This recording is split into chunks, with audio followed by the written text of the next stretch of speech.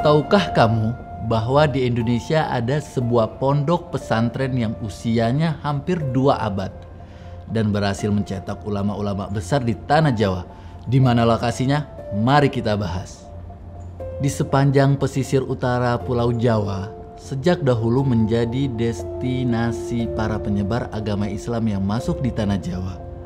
Di antaranya yang dikenal dalam penyebaran agama Islam di Pulau Jawa adalah Wali Songo Keberhasilan Wali Songo dalam menancapkan pondasi agama di wilayah-wilayah yang membentang dari barat dan timur di Pulau Jawa berhasil membuahkan ratusan ribu pondok pesantren di tanah Jawa. Salah satu di antaranya adalah Pondok Pesantren Langitan yang terletak di Kabupaten Tuban, Jawa Timur. Pondok Pesantren Langitan adalah termasuk salah satu lembaga pendidikan Islam tertua di Indonesia.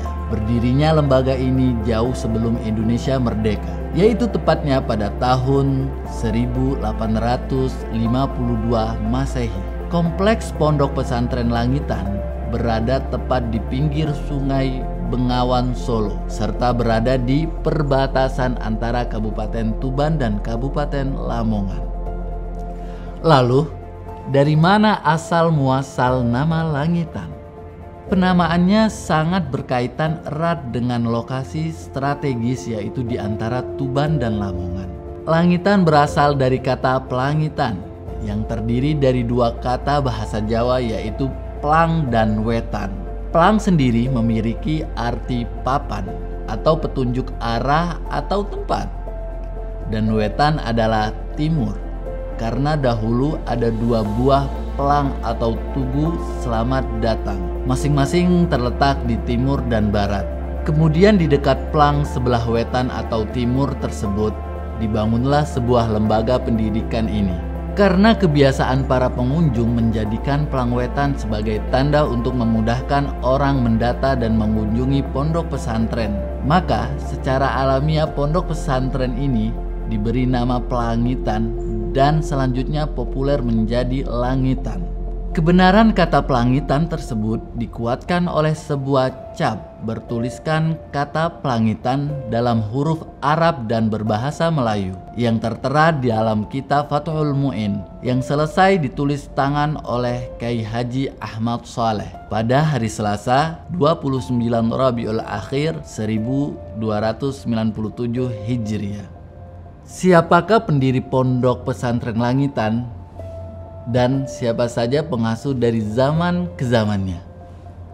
Pondok pesantren langitan didirikan pada tahun 1852 Masehi oleh Kiai Haji Muhammad Nur mengasuh pondok ini kurang lebih selama 18 tahun pada tahun 1852 sampai dengan 1870 Masehi. Salah satu santri Kiai Haji Muhammad Nur yang berhasil menjadi ulama besar adalah Syekhana Khalil bin Abdul Latif, Bangkalan. Syekhana Khalil tercatat pernah mengenyam pendidikan di Pondok Langitan dari awal didirikannya.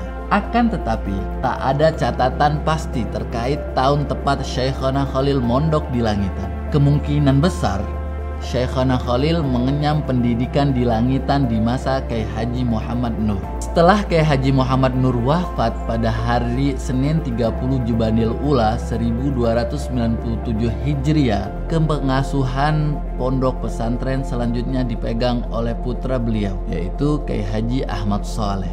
Di tangan Kiai Haji Ahmad Soleh Inilah pondok pesantren langitan mulai melakukan pengembangan dan jumlah santri pun semakin bertambah banyak. Kiai Haji Ahmad Soleh merupakan murid dari ulama besar Hijaz pada masanya, yaitu Sayyid Ahmad bin Zain Dahlan. Di masa Kiai Haji Ahmad Soleh, banyak para santri yang berhasil beliau cetak.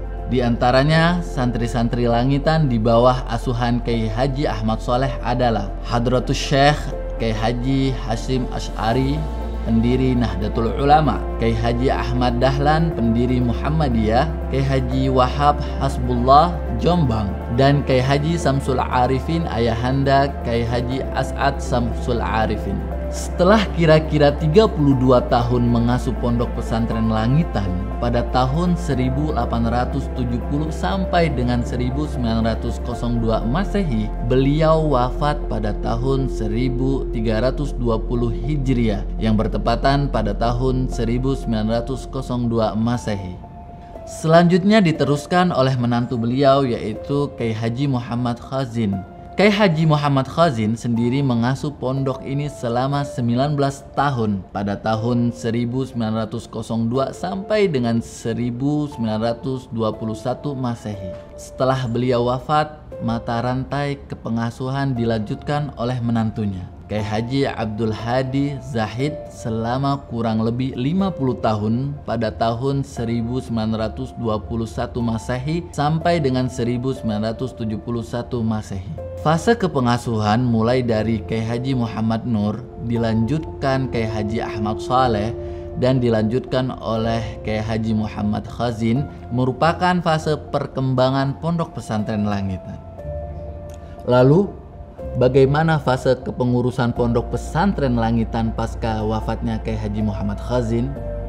Setelah wafatnya Kiai Haji Muhammad Khazin, kepengasuhan dilanjutkan oleh menantunya Kiai Haji Abdul Hadi Zahid selama kurang lebih 50 tahun. Pada tahun 1921 sampai dengan 1971 Masehi. Pada masa Kiai Haji Abdul Hadi Zahid, Pondok Pesantren Langitan melakukan pembaharuan dalam sistem pengajaran dibentuknya madrasah ibtidaiyah dan madrasah muallimin menjadikan pendidikan di pondok pesantren langitan semakin tersistem dengan baik. Tak hanya sistem pengajaran, beliau juga menambahkan kegiatan tambahan kepada santri seperti bahsul masail lil waqi'ah, jamiyatul mubalighin, jamiyatul ghurra wal huffaz dan lain-lain hingga pada tanggal 9 Sofar 1391 Hijriah atau bertepatan dengan tanggal 5 April 1971 Masehi, Kai Haji Abdul Hadi Zahid kembali ke haribaan ilahi Robbi setelah mengasuh pondok pesantren Langitan dalam masa yang cukup lama yaitu 50 tahun. Sepeninggal Kai Haji Abdul Hadi Zahid, kepengasuhan pondok pesantren Langitan dilanjutkan oleh adik kandungnya yaitu Kai Haji Ahmad Marzuki Zahid. Di tangan Kiai Haji Ahmad Marzuki Zahid, cita-cita dan harapan para pengasuh pendahulu pondok pesantren langitan diterjemahkan dengan baik dan penuh kearifan oleh Kiai Haji Ahmad Marzuki Zahid bersama Kiai Haji Abdullah Fagih. Kerjasama dan sinergitas antara keduanya dalam memimpin roda pengasuhan pondok pesantren langitan telah banyak membuahkan hasil yang signifikan. Seperti kebijakan baru di bidang pendidikan dan keterampilan berupa pelajaran manhat tadris, pembentukan pusat pelatihan bahasa Arab, kursus komputer, administrasi, dan manajemen, diklat jurnalistik, pertanian dan peternakan, pendirian taman kanak-kanak TK, dan Taman Pendidikan Al-Quran TPQ. Hingga pada hari Sabtu 21 Rabiul Awal, patan dengan tanggal 24 Juni 2000 Masehi, Kiai Haji Ahmad Marzuki Zahid berpulang ke sisi robnya pada umur 91 tahun setelah mengasuh pondok pesantren Langitan selama kurang lebih 29 tahun dimulai 1971 sampai dengan 2000 Masehi.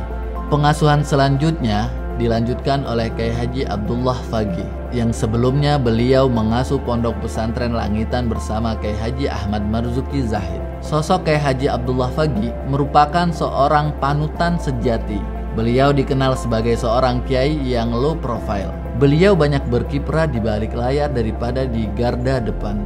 Hanya dalam kondisi-kondisi darurat beliau muncul dan cepat-cepat kembali ke pangkuan pesantren jika kadar darurat telah selesai. Di tangan Kiai Haji Abdullah Fagi, Pondok Pesantren Langitan semakin menjadi pusat pengembangan pendidikan terdepan di pesisir utara Jawa. Ketiga sosok pembaharu Pondok Pesantren Langitan ini mampu menjadikan serta memadukan antara pendidikan tradisional dan modern. Usaha-usaha ke arah pembaharuan dan modernisasi memang sebuah konsekuensi dari semakin cepatnya zaman berkembang. Namun, Pondok pesantren langitan dalam hal ini mempunyai batasan-batasan yang konkret. Pembaharuan dan modernisasi tidak boleh merubah atau mereduksi orientasi dan idealisme pesantren. Sehingga dengan demikian pondok pesantren Langitan tidak sampai terombang-ambing oleh derasnya arus globalisasi. Namun, justru sebaliknya dapat menempatkan diri dalam posisi yang strategis, bahkan kadang-kadang dianggap sebagai alternatif. Saksikan Hall Akbar Masyaikh Pondok Pesantren Langitan pada hari Kamis 15 Agustus 2024 pukul 12 waktu Indonesia Barat hanya di Nabawi TV. Masih ada yang ingin kamu ketahui? Komen di bawah ya. Jika kamu merasa video ini bermanfaat, yuk share videonya